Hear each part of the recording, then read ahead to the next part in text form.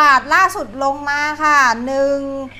1740 แล้วนะคะลบ 11 จุดวอลลุ่ม 20,000 ล้านบาทแล้วนะคะ เดี๋ยวเราไปกำหนดกลยุทธ์การลงทุนกันนะคะ กับทางด้านของพี่หวานธวัชชัย อัศวพรชัย จากบริษัทหลักทรัพย์ ASL ค่ะ พี่หวานสวัสดีค่ะ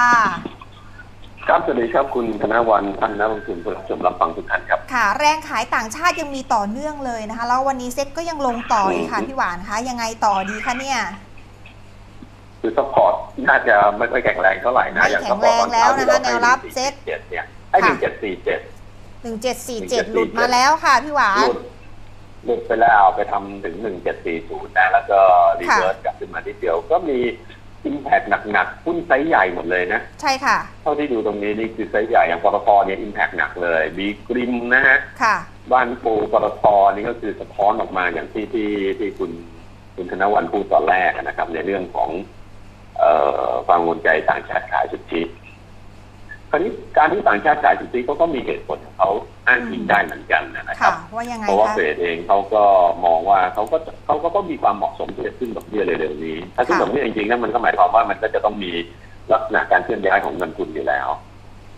ถูกไหมฮะค่ะ อืม มันก็เลยทำให้ความกังวลใจว่าการที่นักลงทุนต่างชาติเนี่ยคือที่ที่ที่เคยขายสุทธิเอ่อพันล้านสองพันล้านมันเริ่มมาสี่ละสี่พันห้าพัน ถูกไหมฮะแล้วเมื่อวานนี้ถ้าขับไปดูวอลุ่มการซื้อขายแค่ตัวเดียวในปตทเนี่ยเยอะมากๆค่ะถูกไหมฮะทั้งซื้อทั้งขายกันนะเอ่อคือตัวนี้มันจะเป็นเขาเรียกว่าพอมีสภาพคล่องเยอะขนาดนี้แล้วก็มีเอ่อแรงขายแรงส่งอย่างนี้ยมันก็เลยจะสามารถจะเล่นสเปกุเลตในระหว่างวันได้นะครับอย่างอย่างอย่างอย่างมันเป็นเป็นเป้าหมายของเขาอยู่แล้วมันก็เลยทำให้เกิดตัวรุ่มเยอะขนาดนั้นค่ะพอวอลุ่มเยอะขนาดนั้นก็ต้องไปมองกันด้วยว่า เอ่อ การที่ปตทปรับตัวลดลงมาอย่างนี้เนี่ยก็คือข้อสังเกตนะเอ่อลงมาด้วยปัจจัยพื้นฐานที่เปลี่ยนแปลงไปในทางลบหรือเปล่าอืมนะครับ แต่แต่แต่แต่ก็ต้องต้องต้องต้องรอดูกันต่อไปว่าจะเปลี่ยนแปลงไปในทางลบอย่างไรบ้างค่ะซึ่งตอนนี้ยังไม่เห็นนะคะนะฮะหรือว่าเปลี่ยนแปลงลงเนี่ย เพราะอย่างอื่น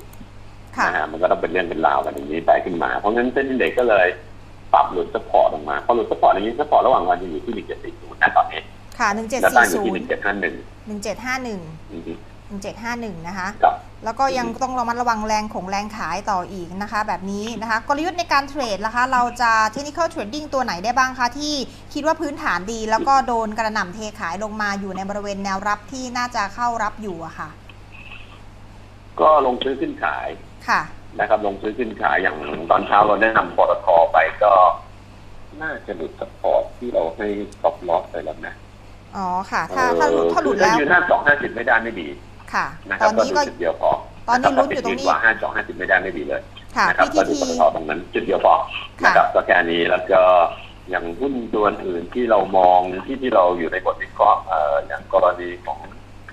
เอ่อเมื่อวานที่ขึ้นมาเยอะกรณีของค่ะ SYNTEC SYNTEC ก็จะมี support อยู่ที่ 460 จุดเดียวเลยนะครับลงมาก็ support ที่ต้องต้องต้องยืนเหนือให้ได้ เช่นเดียวกัน SYNTEC ก็จะมี support อยู่ 460 แนวต้านก็อยู่ 471 472แถวๆนั้นอยู่แล้วนะครับ แล้วก็เอ่อตัวอื่นเดี๋ยวนะค่ะผมขึ้นไปดูรายละเอียดข้างในบทวิเคราะห์หน่อยหนึ่งได้ค่ะนะครับอ่าตัว SYNTEC นะคะเอ่อหน้ากระดาน 4 บาทนะฮะก็มี60ตังค์ค่ะอืมอย่างกรณีของ SYNTEC เราคุยไปแล้วก็มาก็มาดูของ WHA WHA แนวรับ 432 ตอนนี้ test อยู่เหมือนกันนะ คือ WHA เนี่ยลักษณะของเขาเป็นลักษณะ sideway up ขึ้นตามกันกันไปเรื่อยๆ แล้วก็สิ่งที่ WHA ดูดีในเชิงปัจจัยพื้นฐานนั่นคือถ้ามีการลงทุนโครงการ EEC น่าจะสะท้อนออกมาเอ่อส่งผลดีต่อด้านด้านเอ่อตัวตัวตัวเขาอะนะครับนะฮะอันนี้ต้องดูกัน เพราะงั้นวันนี้ดู 432 ซึ่งเป็น support line ที่สำคัญของเขา ถ้ายืน432 ได้ก็ยังโอเคอยู่ยังน่าจะ sideway up ตามกันขึ้นไปได้อยู่นะครับค่ะนะฮะก็มี SYNTEC มีปตทปตทห้าสองห้าสิบนะเน้นเลย ถ้าหลุดตัวใครตัวมันนะคะสองห้าสิบก็มีห้าสองก็ถือลงมาให้เห็นบ้างนะ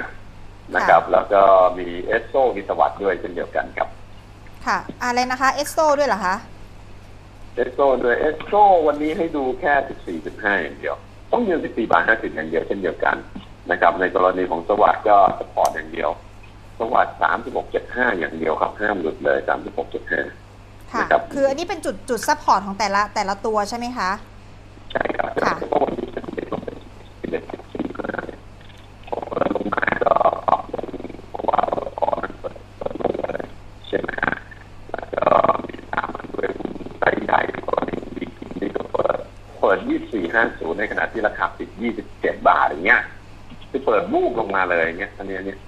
ได้ค่ะ อันนี้มันมันอ่าใช่ มันจะมีจะมีเรื่องของการเปิดมูกลงมา แล้วกลับขึ้นไปเปิดบูกลงมาแล้วกลับขึ้นไปอย่างเงี้ยให้ ให้เห็นอยู่บ่อยๆนักลงทุนก็จะขาดความมั่นใจนะค่ะขาดความมั่นใจนักลงทุนจะมีเรื่องเทอมนี้ไปก่อนเลยอืมคือคือคือจ้องที่จะเข้ามาซื้ออย่างเงี้ยอันนี้จะถอยแล้วก็ชะลอละค่ะพอชะลอปุ๊บก็ไปดูว่านักลงทุนต่างชาติขายสุทธิออกมาเยอะนะนี่แสนกว่าล้านแล้วอะค่ะใช่ไหมฮะค่ะ ค่ะพี่หวานคะพี่หวานได้ตามหกนึ่งลุ่มจุดศูนย์เก้าหนึ่งจุดศูนย์เก้าถ้าจำไม่ผิดค่ะ พี่หวานตามกลุ่มดิจิตอลทีวีบ้างไหมคะ เมื่อวานนี้มีมาตรการช่วยเหลือมา วันนี้ราคาหุ้นลงกันหลายตัวนะคะ ไม่ว่าจะเป็น RS หรือ Work นะคะ ค่ะ หรือว่า cover cover mono อยู่ด้วยไหมคะ ไม่ได้ cover mono ครับไม่ได้ cover อ๋ mono อไม่ได้ cover นะคะ ค่ะ ก็เคยเคยไปฟังอยู่เหมือนกันนะ แล้วก็ตามตามอยู่เหมือนกัน แต่ก็ไม่ได้ไม่ได้ออกบทวิเคราะห์อะไรครับ ค่ะ นะฮะนะคะ เพราะฉะนั้นก็ดูแล้วไม่น่าโดดเด่นอะไรเท่าไหร่นะกลุ่มนี้นะคะ ได้กค่ะลุ่ที่มนี้คือคือคือเท่าที่ตามข่าวเนี่ย เขาได้ประโยชน์จากตรงนี้ไป แต่ก็ภาระก็ยังอยู่นะอืมค่ะ ใช่ไหมฮะไม่ได้ล้าแต่งหก็นี้ก็นะถืคะอว่าแค่ชะเขาลอเขาก็ให้มีการผ่อนผันตรงนี้ลงมาขึ้นครับครับถือว่าเป็นการเป็นเป็นสายสัญญาณที่ดีไหมเป็นสายสัญญาณที่ดีมากนะ ค่ะ แต่แต่เขาก็ต้องเขาต้องบริหารต่อไปให้ให้ให้อยู่อยู่ได้เพียงแต่ว่าช่วงระยะเวลาถูกยืดออกไป ถือว่าดีไม่ดีมากเลย เพราะงั้นสิ่งที่เราตามต่อไปก็คือว่าจะทำยังไงกับกับเรื่องราวเหล่านี้ต่อไป มีเวลาแล้วนะ เวลาเพิ่มค่ะขึ้น อันนี้ถือว่าดี เพราะงั้นการปรับตัวลดลงมาของกลุ่มนี้นะ ถ้าลงมาลึกและเร็วและแรงเนี่ยน่าน่าสนใจน่าสนใจครับค่ะได้ค่ะ เพราะฉะนั้นสุดท้ายย้ำกลยุทธ์ทิ้งท้ายให้สักนิดหนึ่งสำหรับสัปดาห์นี้นะคะพี่หวานอ่าผมให้เป็นวันนี้ก่อนแล้วกันนะหนึ่งค่ะสี่หนึ่งเจ็ดสี่ศูนย์ต้องยืนให้ได้ ถ้ายืนไม่ได้โอเคนี่อาจจะอาจจะต้องลง คือคือความต่อเนื่องมันจะเกิดขึ้นนะรูปแบบเนี้ยความต่อเนื่องมันจะเกิดขึ้นนะหนึ่งเจ็ดสี่ศูนย์ดูติดดูอย่างดูจุดเดียวพออันนี้คือต่อไปเกิดขึ้นแล้วล่ะได้ค่ะแล้วก็สำหรับกลยุทธ์ในในระยะสัปดาห์จากนี้เป็นต้นไปเองเนี่ยก็คือถ้าถ้ามีการ reverse กลับขึ้นไปเนี่ยแล้ว volume กระจาย volume ต้องกระจายไปนะ ไม่ได้ไปหนักหนาแน่นอยู่ที่ตัวตัวใดตัวหนึ่งอย่างเช่นเมื่อวานนี้ที่ปตทนี่ไม่ดีนะครับเอ่อแล้วแล้วมี volume support การ test แนวต้านจะมีนัยสำคัญของการผ่านได้นะครับเอ่อ หนึ่งเจ็ดสี่ศูนย์เสร็จแล้ว support ต่อไปจะอยู่เออไปทีละสิบพอยได้เลยนะ หลังจากที่หนึ่งเจ็ดสี่ศูนย์แล้วก็ถ้าถ้ายืนหนึ่งเจ็ดสี่ศูนย์ไม่ได้มีความเสี่ยงมากที่จะลงไปหาดับเบิลกระทอมเขาที่เดิมก็คือหนึ่งเจ็ดห้าครับ ค่ะได้ค่ะ กราบขอบพระคุณมาก ๆ เลยนะคะ ครับ ยินดีค่ะคสรัวัสดีบค่ะพี่หวานทวชชัยสวัสดิ์พรชัยบริษัทหลักทรัพย์ ASL นะคะ ต้องยืนให้ได้ 1740 ถ้ายืนไม่ได้ลงไป 1725 ตอนนี้อยู่ที่ 1741 นะคะ ยืนยืนปริ่มๆ อยู่ตรงนี้นะคะ เพราะฉะนั้นในหุ้นแต่ละตัวต้องมีจุด stop นะคะ ซึ่งก็จะเป็น support ด้วย แล้วก็จะเป็นแนวรับด้วยนะคะ เพราะฉะนั้นแนวรับที่ว่าท่านหลุด ท่านก็ต้อง stop ด้วยนะคะ PTT ห้ามเด็ดขาดค่ะ 52 บาท 50 สตางค์นะคะ ก็ค่อนข้างจะเป็นตัวเลขที่ใกล้เคียงกันกับทางที่พี่นิพนธ์ที่ให้ไว้ 52 บาท 25 สตางค์ถ้าหลุดลงไปนะคะ จะมีแนวรับถัดไปอยู่ที่ 48 บาทนะคะตัวของเอสโซห้ามหลุด 14 บาท 50 สตางค์สวัสด์ห้ามหลุด 36 บาท 50 สตางค์นะคะ วาห้ามหลุด 4 บาท 31 สตางค์นะคะ ส่วนเซ็ต ห้ามหลุด 1740 ถ้าหลุดลงไป 1725 นะคะ ภาพตลาดยังคงมีแรงขายต่อเนื่อง เพราะฉะนั้นจังหวะนี้จับการลงทุนโดยวิธีการ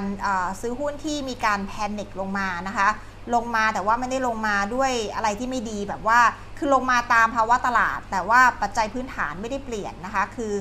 ธุรกิจยังดีกำไรยังดีคือพื้นฐานยังดี แต่ว่าลงตามเขาแบบนั้นนะคะ ก็จังหวะ panic จังหวะย่อดูตามแนวรับเพื่อซื้อเล่นรอบนะคะ แล้วเด้งขึ้นไปก็ขายได้ แต่ว่าในขณะเดียวกันนะคะ ท่านต้องดูจุด stop ด้วยเพราะว่าอย่างที่บอกนะคะว่าภาพตลาดที่มีแรงขายกระหน่ำแบบนี้บางทีนะคะมันก็เอาไม่อยู่เหมือนกันนะคะ ไม่ว่าจะเป็น strong support ขนาดไหนนะคะ อย่าง PTT ที่ว่าแน่นะคะ ก็ปรากฏว่ายังรูดลงมาได้นะคะ ทุกแนวรับเลยขนาดหุ้นที่มี Market Cap Size ใหญ่ขนาดนี้นะคะ 53.25 52.25 รับถัดไปอยู่ที่ 48 บาทนะคะ ก็ขอให้ท่านที่อาจจะออกของไม่ทันขายหุ้นไม่ทันสำหรับการ trade เก็งกำไรหรือว่าเล่นรอบ หาจังหวะในการที่จะเฉลี่ยต้นทุนได้นะคะ เพื่อที่จะออกของได้ในวีช่วงจังหวะที่ SET rebound ขึ้นมานะคะ แล้วก็อย่าลืมนะคะ back to basic กลับไปเลือกหุ้นที่พื้นฐานดีนะคะ เป็นปัจจัยสำคัญค่ะ เพราะว่าไม่อย่างนั้นเวลาลงแล้วถ้าเกิดรูดลงมานะคะ ขาดทุนหนักก็จะเสียใจได้นะคะ ก็ขอเอาใจช่วยค่ะ แล้วก็วันนี้อย่าลืมนะคะ ช่วงประมาณบ่ายโมงครึ่งนะคะ ไปเจอกันที่ Facebook ของ Macquarie DW28 นะคะ หมวยจะไป Facebook Live นะคะ พูดคุยกับทางคุณรณกิจสารินวงศ์นะคะจากมิติหุ้นนะคะ เพื่อที่จะพูดคุยถึงเทรนด์แล้วก็โอกาสในการลงทุนในเดือนมิถุนายนนะคะ ก็ฝากติดตามด้วย เดี๋ยวยังไงถ้าเกิดท่านไหน ไปไม่ถูกนะ ไม่รู้ว่าแฟนเพจอยู่ตรงไหนนะ ก็ประมาณสักบ่ายโมง เดี๋ยวหมวยแชร์มาที่ Facebook รู้ทันหุ้นบ่ายก็คลิกเข้าไปชมกันด้วยนะคะ ฝากให้กำลังใจทีมงานกดไลค์กดแชร์กันด้วยนะคะ วันนี้ลากันไปก่อนค่ะ ขอให้โชคดี และมีสติกับการลงทุนในตลาดหุ้นไทยค่ะ สวัสดีค่ะ ศาสตร์แห่งการลงทุน เคล็ดลับวิชาหุ้นสำหรับนักลงทุนมืออาชีพ เจาะลึกสูตรการเลือกหุ้นสไตล์คุณนิพนธ์สุวรรณประสิทธิ์ เผยเคล็ดวิชาเลือกหุ้นที่ไม่เคยเปิดเผยที่ไหนมาก่อน พร้อมปรับ mindset เพื่อให้คุณรับมือกับเกมจิตวิทยาการลงทุนในตลาดหุ้น เปิดประตูสู่การเป็นผู้ชนะในตลาดหุ้น ด้วยเคล็ดวิชาหาหุ้นแบบเข้มข้น เจาะลึกทั้งพื้นฐานและทางเทคนิค สอนเคล็ดวิธีทำกำไรจากตลาดหุ้นฉบับมืออาชีพ